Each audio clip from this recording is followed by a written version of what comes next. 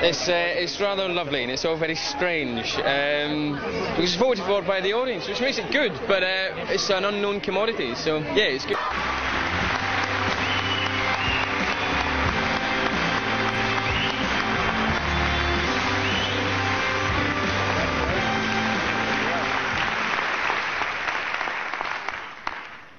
Absolutely very surprised.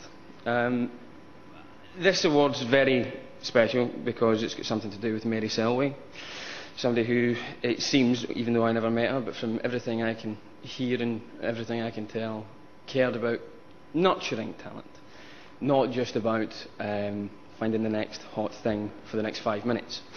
Uh, it's doubly special because the audience voted for it, and um, and uh, it's nice that the audience are getting to have a say in Britain's biggest award-giving cere- uh, ceremony. Um, James, slightly in a bit James, stand there, slightly into your face.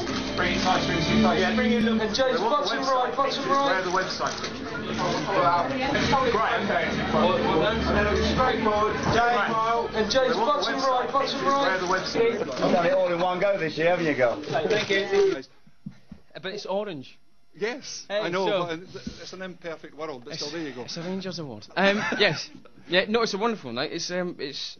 I'm just starting to calm down a wee bit. I was very nervous and I kind of couldn't quite help a wee crack in my voice when I was up there. Um, but uh, it's pretty much because I'm hugely uh, surprised to have won it. I'm not annoyed that I've won it, but uh, I am surprised. I thought someone else probably would. I thought either Chewy or Gael would win it. But um, I am very thankful. Yes.